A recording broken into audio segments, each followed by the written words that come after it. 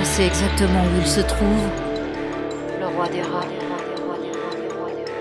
Il se tient là chaque soir entre le mur et l'armoire, sous les licornes roses du peignoir en face de la porte du couloir. Le roi des rats. Maman a vérifié au moment du coucher, comme toujours, elle n'a rien remarqué. Il s'est parfaitement passé inaperçu, elle sait ne rien voir de ce qui doit être tué. Mais il est là, il est là. le roi des rats,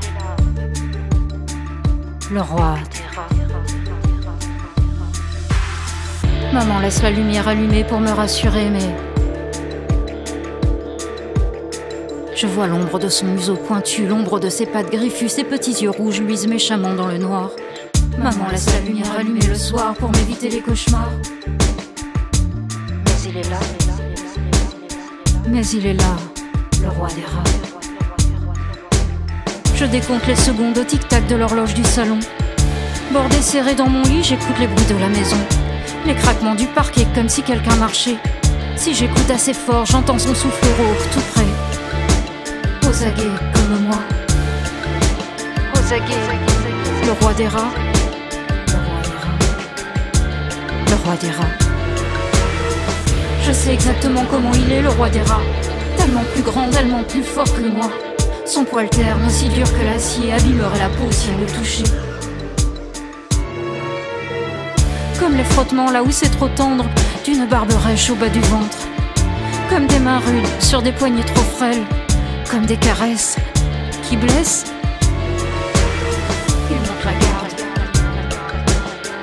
Il monte la garde.